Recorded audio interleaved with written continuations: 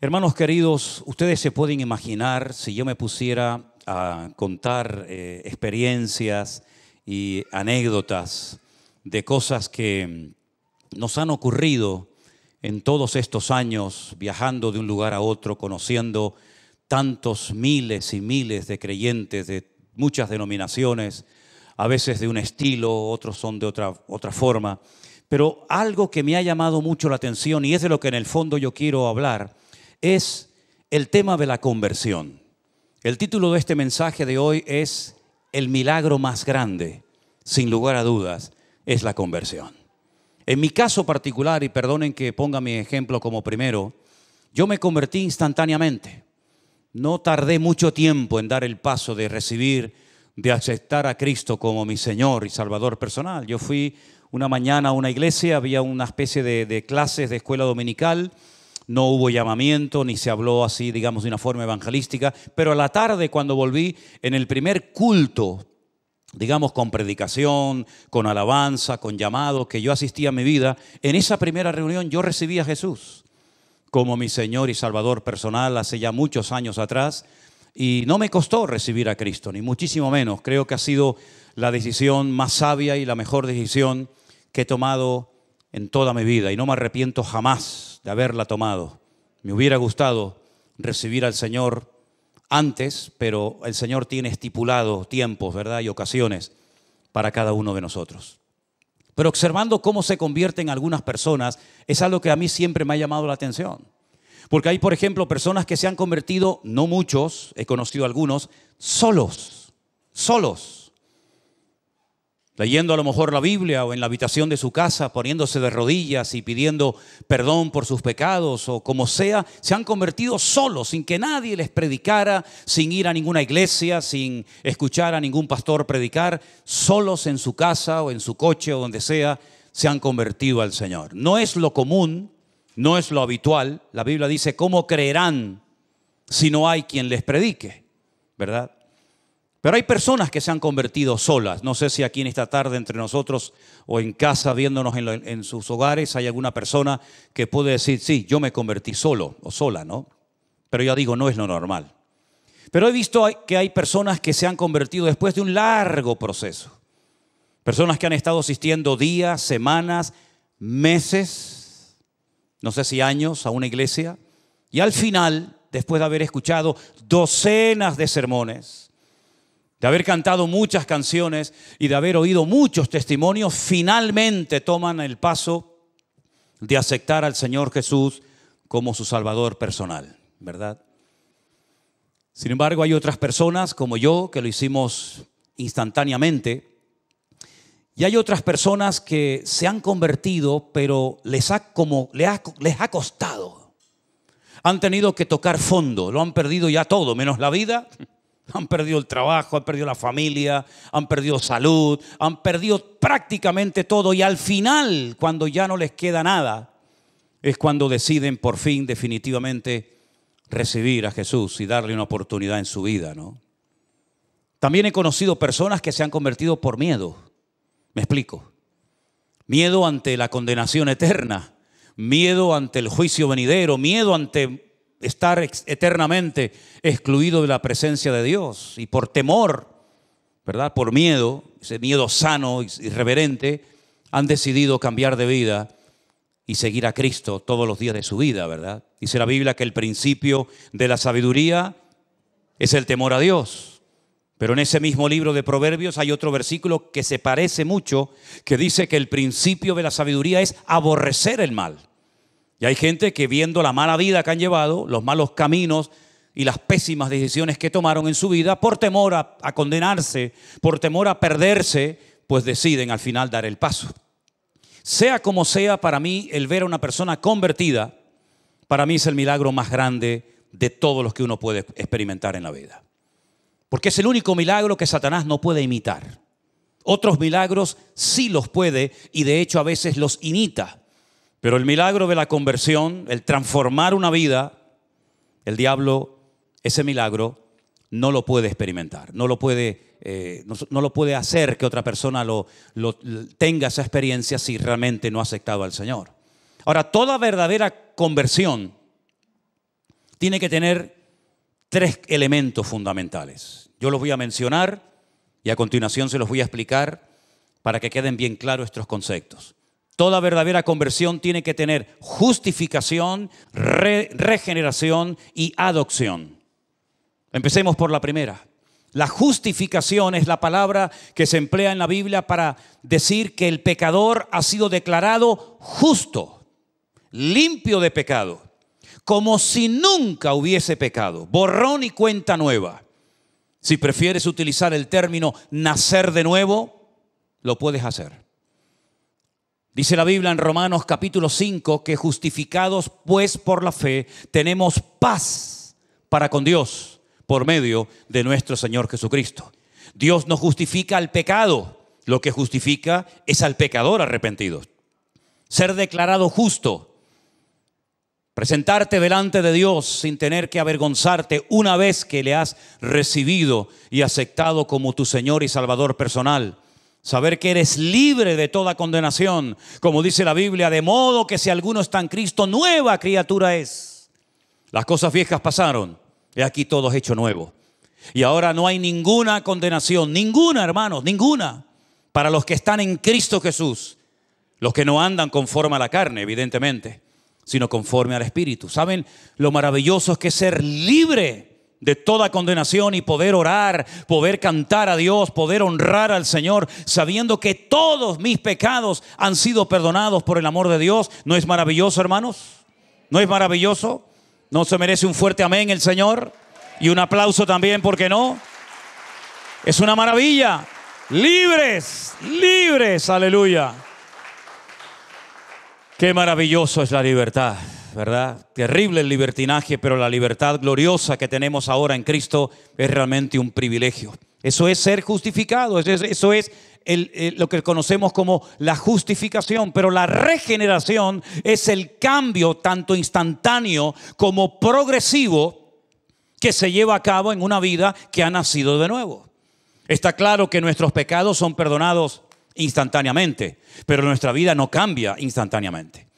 Entramos en un largo proceso, ¿verdad?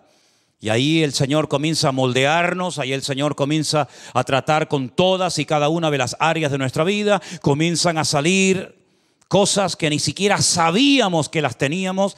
Es como cuando calientan el, oro y entonces comienzan a salir todas las impurezas y las van quitando y las van quitando, ¿verdad? Y eso es lo que ocurre después de haber sido justificados por el Señor que el Señor comienza a tratar con nuestro carácter. El Señor comienza a tratar con cosas de nuestro pasado que todavía en nuestra mente nos juegan o les gustaría jugarnos malas pasadas, ¿verdad? Y el Señor comienza a transformarnos, comienza, digamos, a, a moldearnos y en vez de parecernos al diablo, comenzamos a parecernos a Cristo. Cuando el hombre pecó, comenzó a hacer cosas que son típicas del diablo. Comenzó a matar, comenzó a odiar, comenzó a mentir, comenzó a tener celos, envidias, pleitos, iras. Esas son las características de una persona que está bajo la cobertura del diablo. El hombre comenzó a parecerse al diablo después de pecar y desconectarse de su Dios. Pero cuando recibimos a Cristo en nuestros corazones como nuestro Señor y Salvador personal, con el paso del tiempo nos vamos pareciendo cada vez más a nuestro Señor Jesucristo. Y comienza a manifestarse lo que la Biblia llama o, indica como el fruto del Espíritu Santo que mora en nosotros. Comenzamos a amar cosas que antes odiábamos.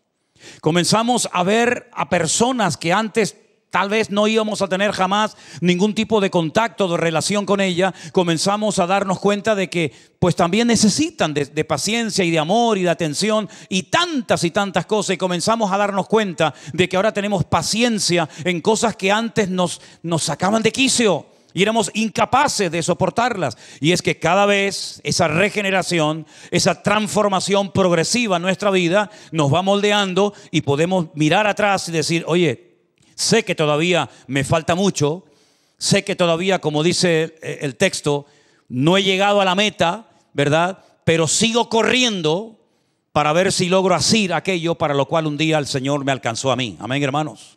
Y finalmente, la adopción, es decir, ahora tengo una familia. Ahora estoy bajo una cobertura que es la familia de Dios. Y hemos conocido esta tarde a dos miembros de nuestra familia, ¿verdad? Que viven en otro lugar. Pero podríamos recorrer el mundo entero y darnos cuenta de que tenemos hermanos y hermanas en la fe prácticamente en todas las partes del mundo.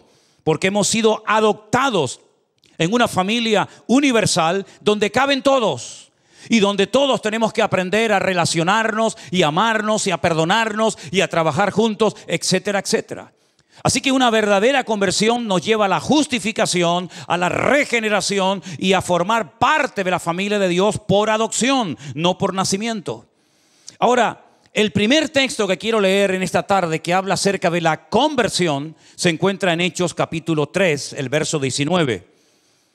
Pedro y Juan acaban de orar por un paralítico que ha sido milagrosamente sanado y ellos aprovechan la oportunidad para dar testimonio de su Dios, para evangelizar a las personas que allí están viendo aquel milagro.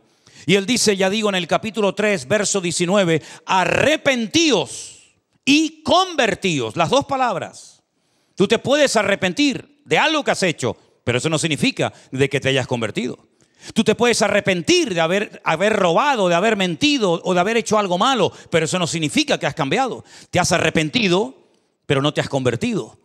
Pero Pedro dice, arrepiéntanse y conviértanse para que sean borrados vuestros pecados y para que vengan de la presencia del Señor tiempos de refrigerio. Epistrefo esa palabra rara, esa palabra griega es la palabra que se traduce en el Nuevo Testamento como la palabra convertidos o conversión, epistrefo, que significa dar la vuelta, dar marcha atrás, cambiar de dirección, ir en una dirección contraria a la que iba.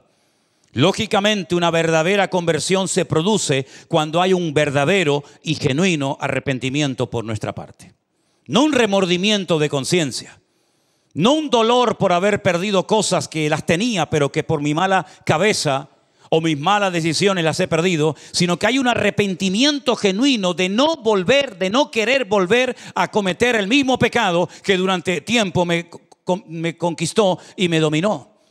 Cuando hay un verdadero arrepentimiento se puede decir que hay una verdadera conversión y un genuino deseo de cambiar y un genuino deseo de honrar y de servir al Señor que tal vez antes no creíamos en Él, pero que ahora nos hemos dado cuenta de que lo amamos y lo conocemos y de alguna manera queremos esforzarnos por servirle y por honrarle todos los días de nuestra vida.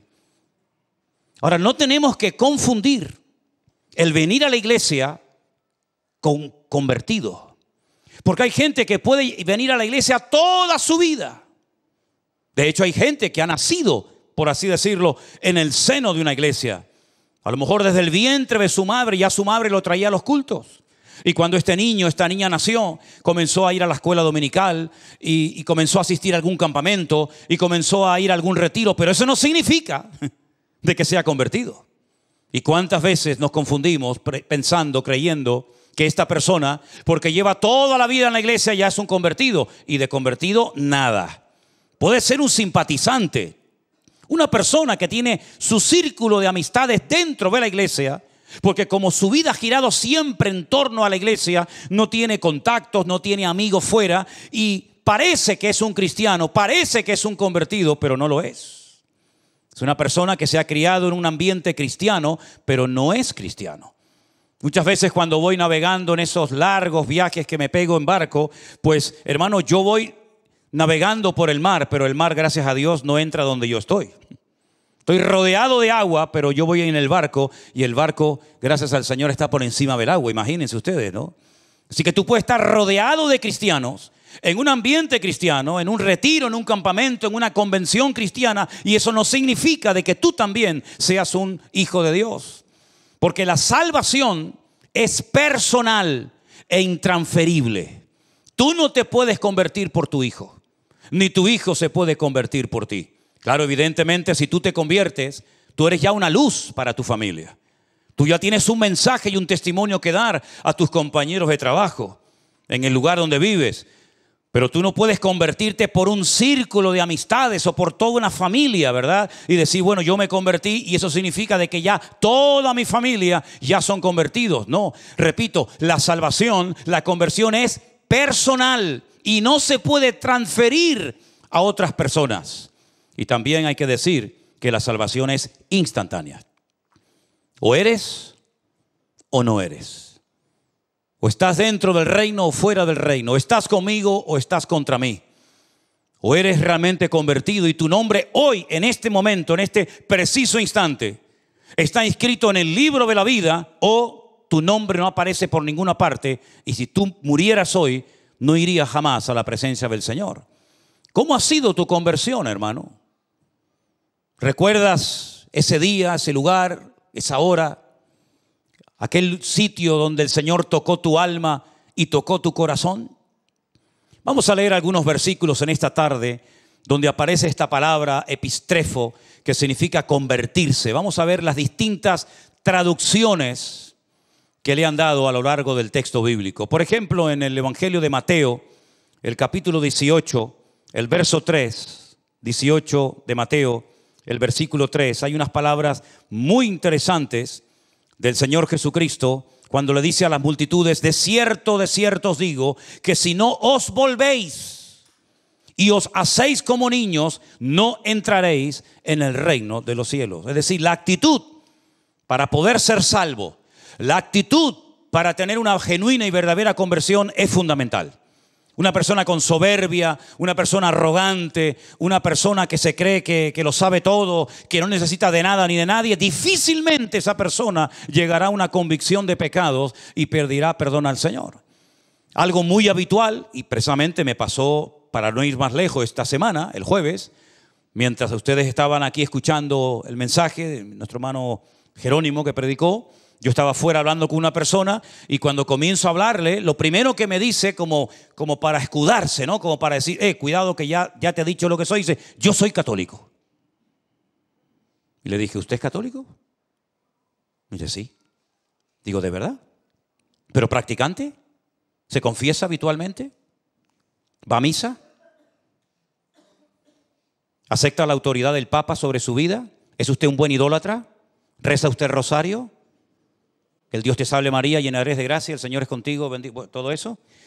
¿Es usted un buen católico? Me dice, mm, bueno, no. Digo, entonces permítame que le diga, usted no es nada. Y me dice, es verdad, yo creo que no soy nada. Digo, ya nos estamos entendiendo. Digo, mire, ¿sabe por qué usted dice que es católico? Porque unos señores de España, hace muchos siglos atrás, se fueron allí y les conquistaron a ustedes. Y después de irse y de volver a sus tierras, después de haberse llevado todo lo que pudieron y más, o usted no lo hubiera hecho. Usted no lo hubiera hecho, ¿verdad? Claro, ya. Dejaron una religión allí, muerta y vacía, que no servía aquí, pero la dejaron allí. Y por eso usted es católico. Pero si en vez de haber ido los españoles hubieran ido, por ejemplo, los musulmanes, usted entonces seguramente hoy estaría rezando de cara a la Meca y estaría con un Corán debajo de su brazo. Usted no eligió la religión, la religión lo eligió a usted. Y no fue algo que usted decidió seguir o aceptar, sino fue algo que le impusieron a usted casi, casi desde el vientre de su madre. Es decir, cuando una persona cree que por ser católico o miembro de una iglesia, sea esta o cualquier otra, ya es salvo, convertido, se equivoca rotundamente. Porque la conversión no pasa por una denominación. La conversión no pasa necesariamente por ser miembro de una iglesia, llámese como se llame, sino la conversión es un encuentro es una experiencia personal con Cristo. Yo me arrepiento, yo reconozco que soy un pecador. Yo reconozco que me he equivocado. Eso de que no, yo, yo siempre he creído, no dudo de que usted siempre haya creído, pero déjeme que le recuerde a alguien, el más creyente del mundo, el que nunca ha dudado de la existencia de Dios, el que cree que los 66 libros de la Biblia, desde el Génesis 1.1, hasta la mente de Apocalipsis es palabra de Dios. El que cree en el Padre, en el Hijo, en el Espíritu Santo, el que cree en el cielo, en el infierno, el que cree en las parábolas, las profecías y las promesas, el que nunca jamás ha dudado de la existencia de Dios, es nada más y nada menos que un caballero llamado Satanás el diablo. Porque Satanás no es un ateo. Porque la Biblia dice que para ser ateo hay que ser necio. Eso lo dice la Biblia. Y Satanás de necio no tiene nada. Satanás es acabado en hermosura, el sello de la perfección y lleno de sabiduría. Dice la Biblia que Dios así lo creó. Y dígame ustedes si Satanás va a pasar la eternidad en la presencia del Señor junto con su, amado, su amada iglesia. ¿Usted cree en eso? Pero si es un creyente, si jamás ha dudado de la existencia de Dios, es que creer sí es importante, pero no es suficiente. No hay ningún mérito en decir yo creo en Dios. Yo he creído toda mi vida y quiere que ahora le toquemos una música especial y le hagamos una fiesta por haber creído en Dios. No hay ningún mérito en haber creído en Dios. El mérito no está simplemente en creer.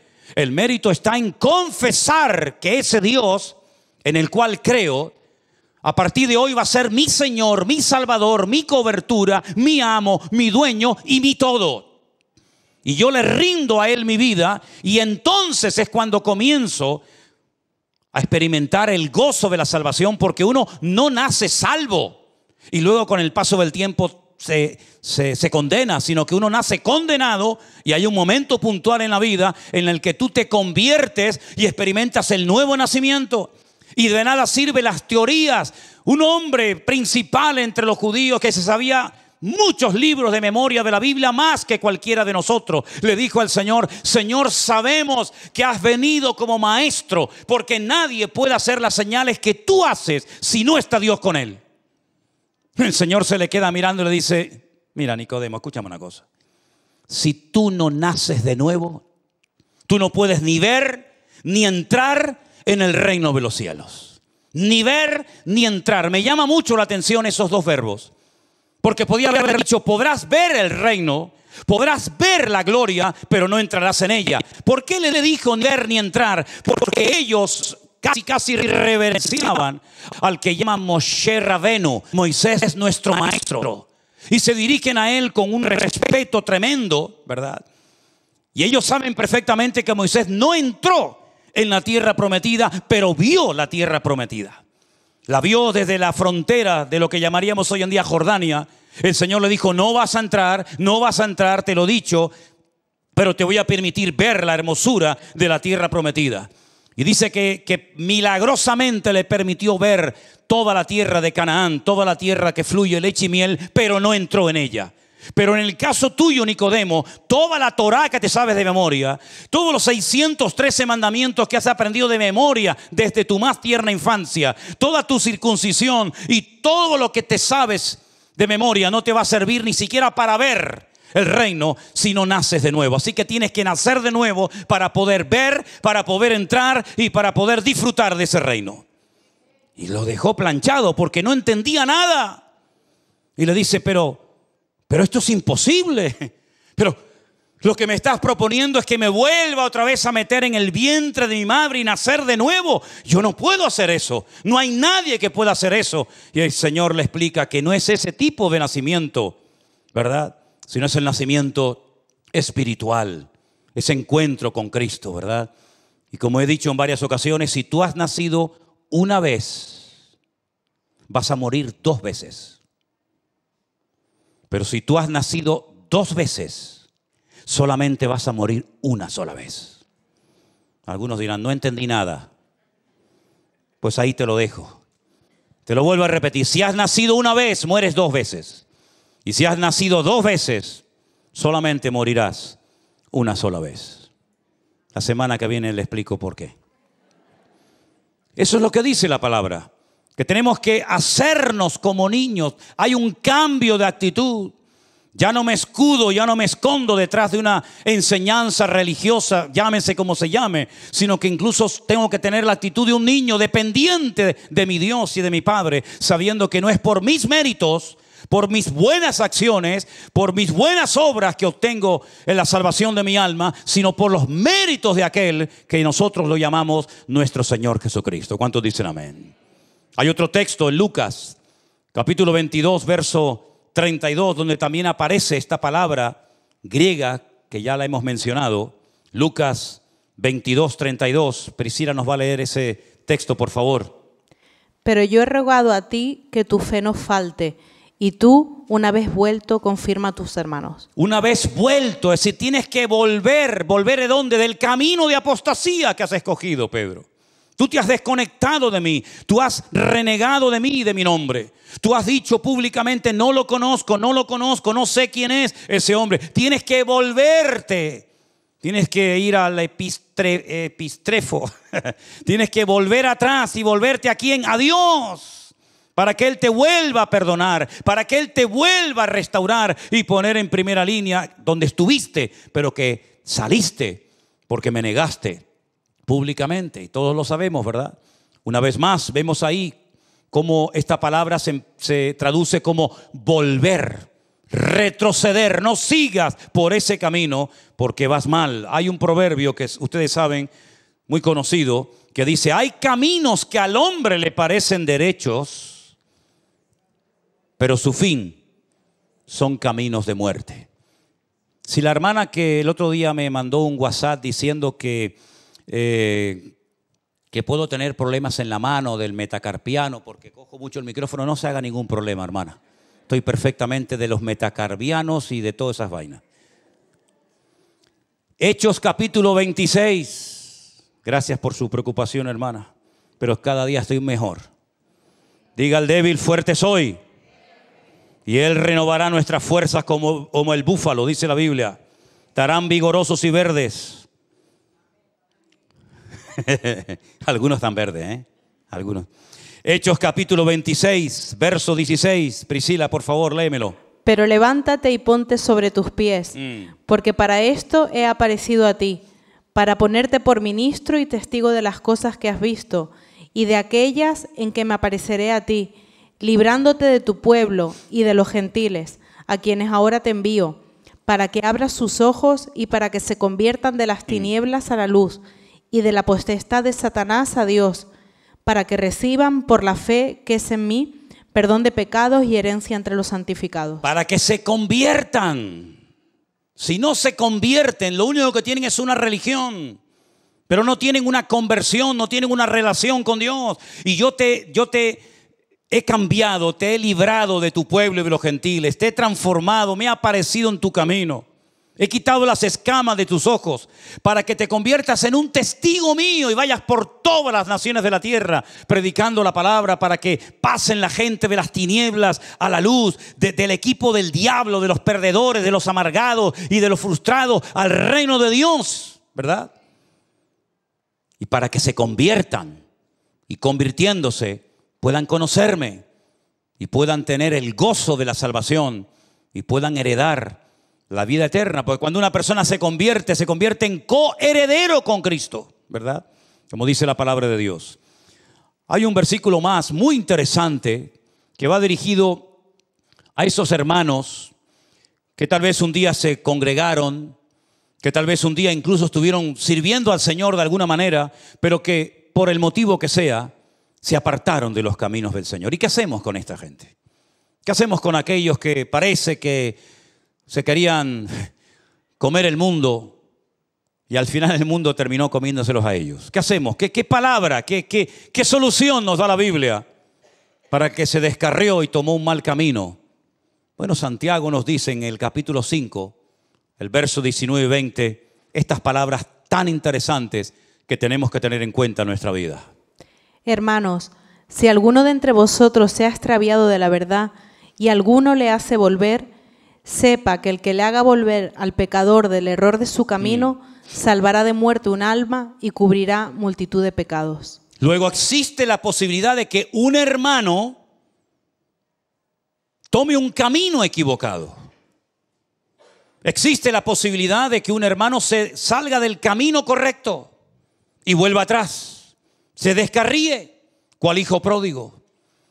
Y entonces dice la Biblia si alguno de entre vosotros le ha pasado eso, si alguno que antes era hermano y cantaba con nosotros y se congregaba con nosotros y servía al Señor junto con nosotros, se ha escarriado de la verdad, sepa que si hay alguien que haga volver al pecador, al pecador, del error de su camino, le salvará el alma y cubrirá multitud de pecados.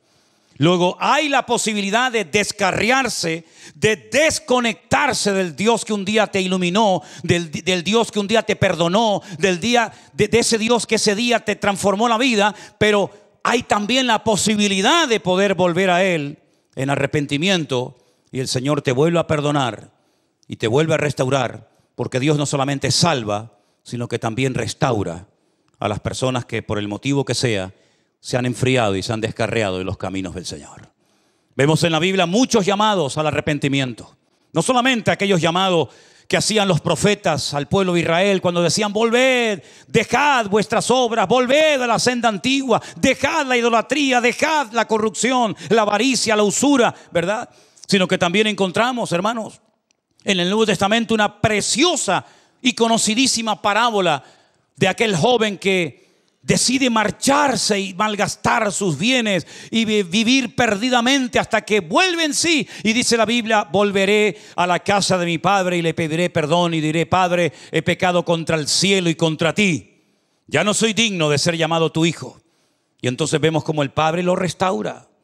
El padre le da un nuevo vestido, pone calzado en sus pies, pone un anillo en su mano, ¿verdad? Le restaura la autoridad, lo vuelve a poner como, como hijo de toda dignidad y mata al becerro gordo y hacen una fiesta porque este mi hijo que lo dábamos por muerto ha vuelto otra vez a la vida. Hay ejemplos tremendos en la Biblia de personas que tuvieron una conversión tremenda con el Señor. Por ejemplo, el apóstol Pablo. La conversión del apóstol Pablo, no me digan a mí que no fue espectacular. Un religioso, un hombre que pensaba que había que destruir a los que en aquel día, en aquellos días se llamaban los del camino.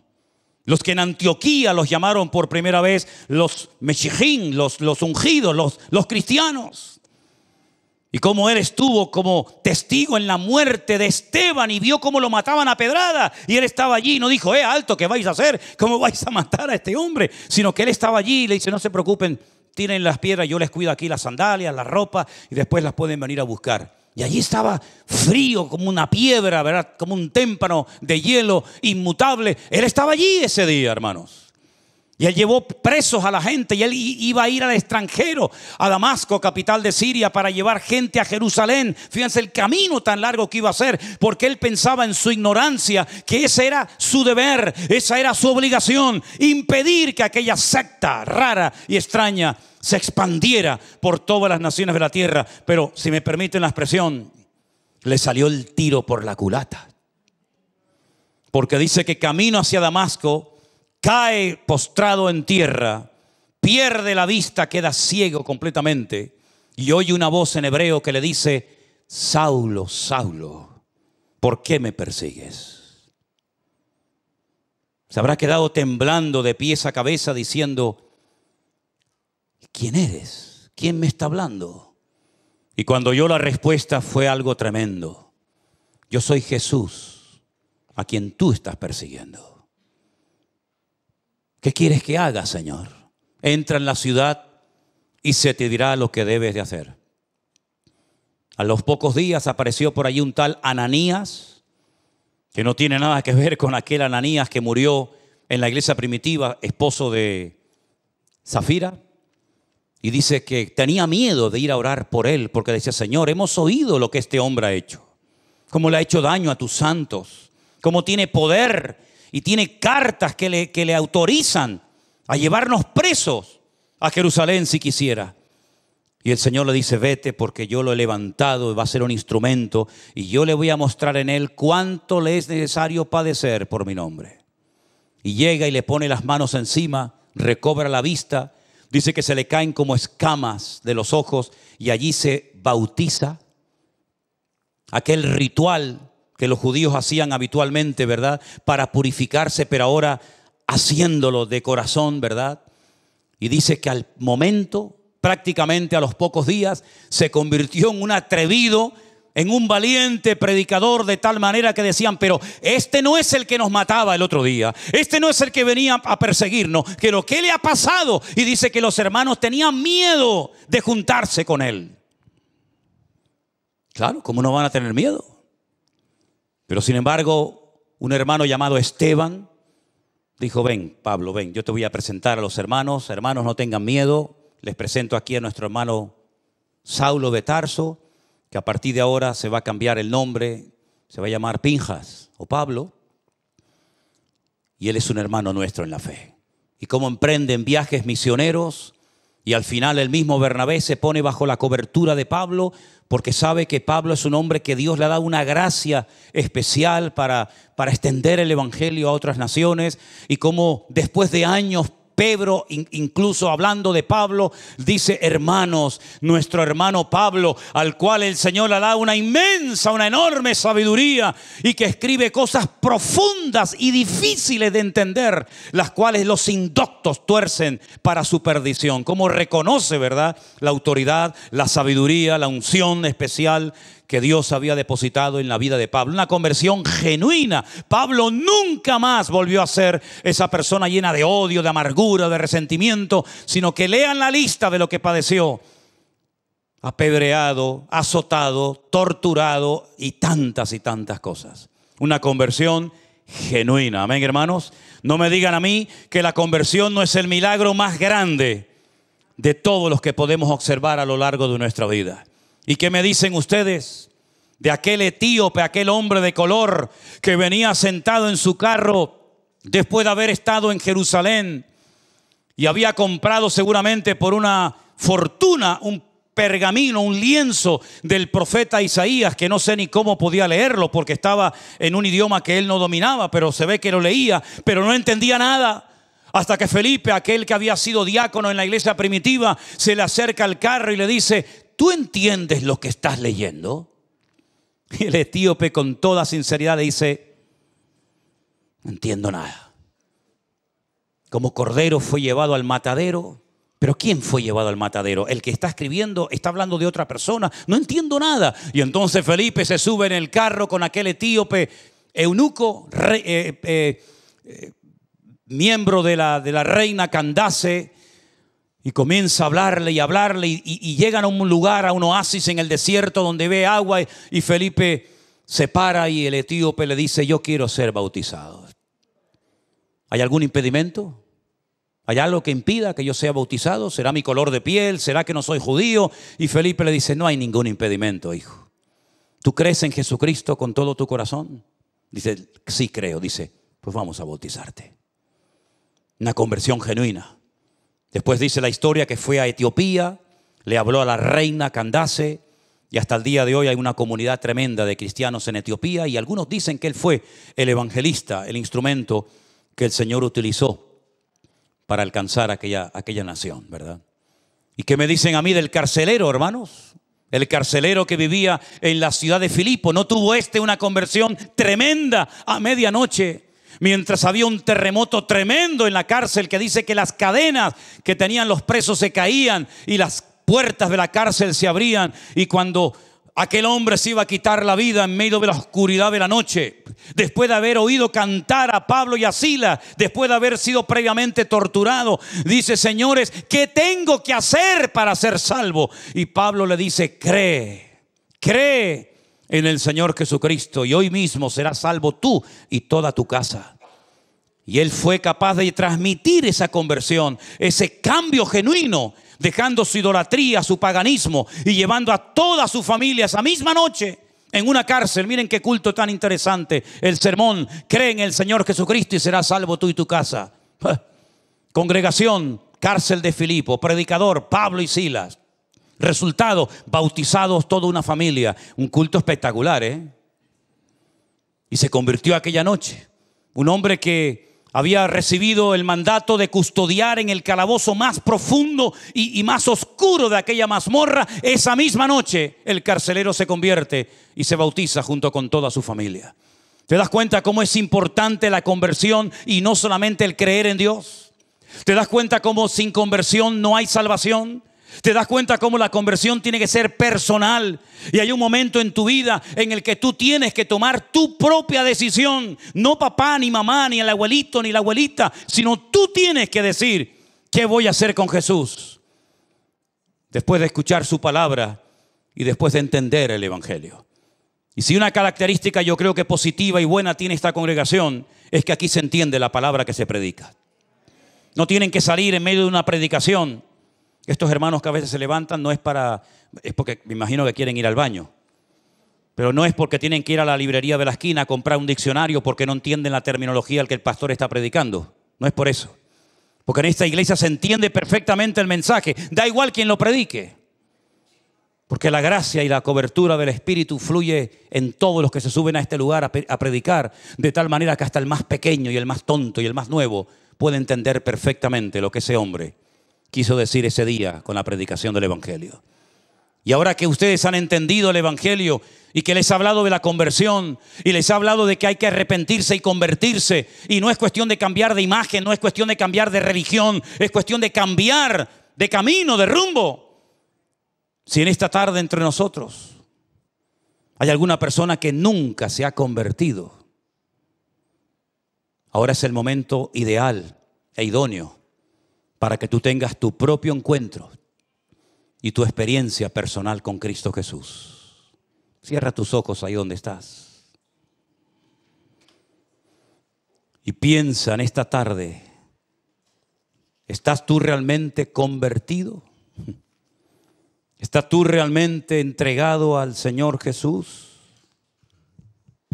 ¿O simplemente vienes a una iglesia porque te gusta, porque tienes tu círculo de amistades aquí?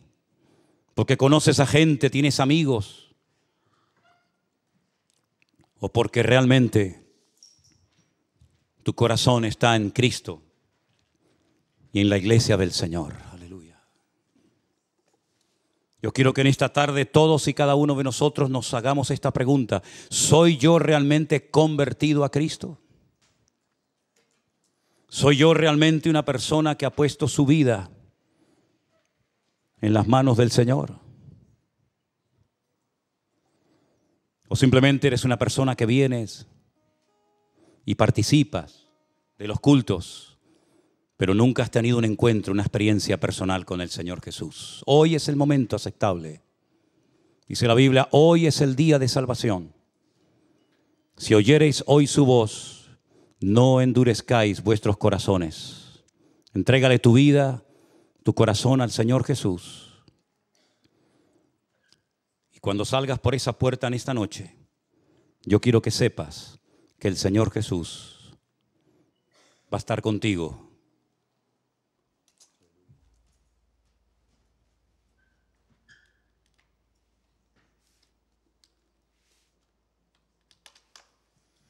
Aleluya. Gracias Señor Jesús. Te adoramos, oh Dios. Gracias, Padre, por tu presencia. Gracias, Dios. Gracias por tu amor, Señor infinito. Si hubiera entre nosotros en esta tarde o ahí en la casa donde estás escuchando este culto, alguna persona que no se ha convertido a Jesús, pero tú hoy le quieres entregar tu vida a Él, yo te animo a que lo hagas. Y te pongas de pie y le digas, Señor Jesús, yo te recibo mi corazón como mi Señor y Salvador personal. ¿Hay alguien entre nosotros que le quiere entregar su vida a Jesús? ¿Que quieres tomar este paso? Póngase de pie, no tenga ningún temor. Y entréguele su vida al Señor Jesús. Gracias, Señor. Gracias, mi Dios. Gracias. No es el momento de volver atrás. No es el momento de abandonar. Sigue adelante mirándole a él. Pronto llegaremos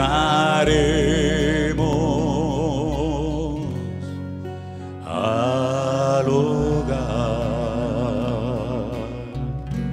olvidando lo que queda atrás extendiéndome a lo que está delante. Prosigo a la meta del llamado de mi Dios con paciencia llegaremos al hogar. Ponte de pie conmigo en esta noche, hermano. Vamos a cantar esta alabanza nueva que salga de lo más profundo de nuestros corazones.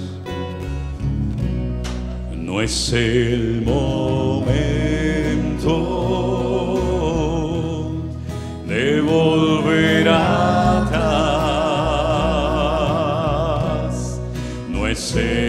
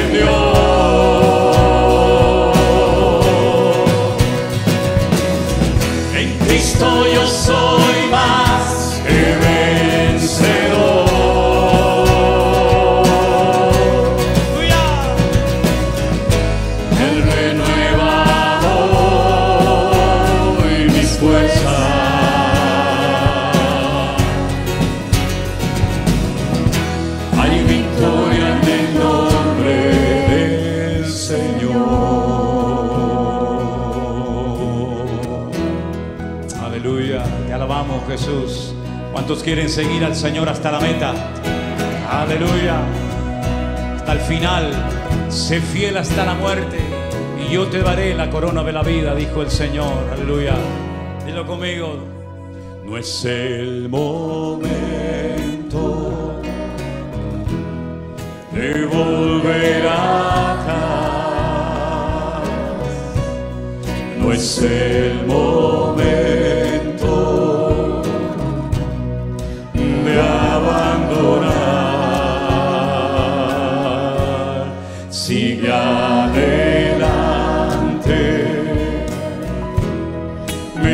adoraré.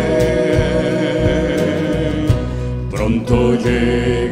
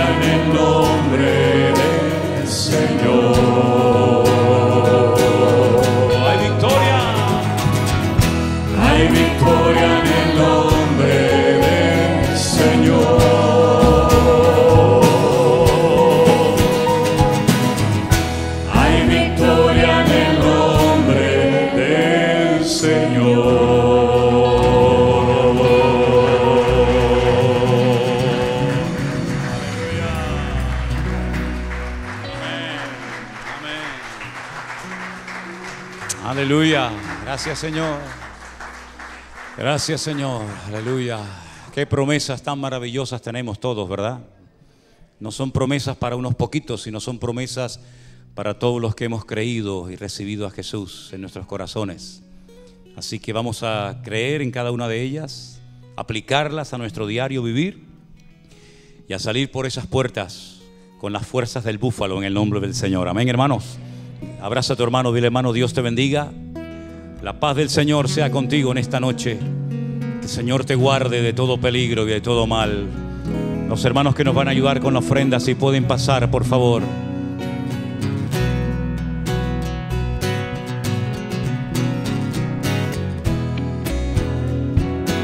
Vamos a ofrendar con gozo en esta tarde para nuestro Dios. Los hermanos pueden ir pasando.